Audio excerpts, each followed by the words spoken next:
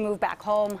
I found a dairy-free donut I could actually eat at Mighty O in Ballard. And little did I know that something that started out as kind of a joke, something kind of silly and quirky and funny, turned into something so much more after 100 days. Here's how eating a donut had a bigger purpose. Why? Why are you eating donuts for 70 days?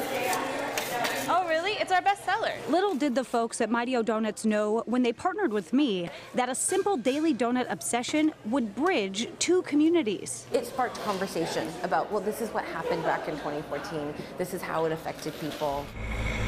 It was the single deadliest landslide in U.S. history, taking the lives of 43 people near the small community of Oso. They were out there living it every single day. So just to be able to give anything back to help them, to show our gratitude um, for everything that they've done. Five years have passed, and still, the legacies of those lives lost are kept quiet in the valley. It's important to me that the legacy of my sister lives on. Dane Bruner and Joel Johnson are hoping that will change by way of a memorial that shares about the people lost, the response efforts made, the resiliency of the community, and details behind the geological event itself. I'm going to make sure that everybody knows her and knows her story forever and, and they deserve that.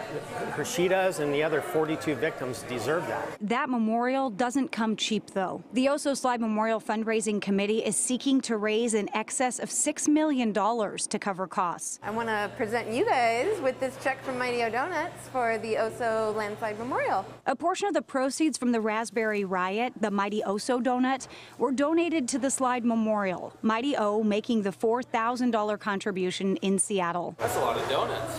Yeah. A lot of donuts. I mean, I love the sacrifice because him and I, him and I sacrificed a lot to be out there for 60, 70 days. But for you to sacrifice your body to raise money. While the small, resilient community of Oso will be remembered for the landslide, it will not be defined by it. The people there, defined by community a community that now stretches far beyond Oso, and a donut obsession that turned into a little something more. It almost feels like the burden gets a little lighter. It does. And, uh, and it, it's a bright spot in an otherwise dark time. Just to see the, the, uh, the initiative and, and the forethought that went into this and the support from you and Q13 in general, it's just been phenomenal. In Seattle, have a good day. Ali Bradley, Q13 News. Well, the Oso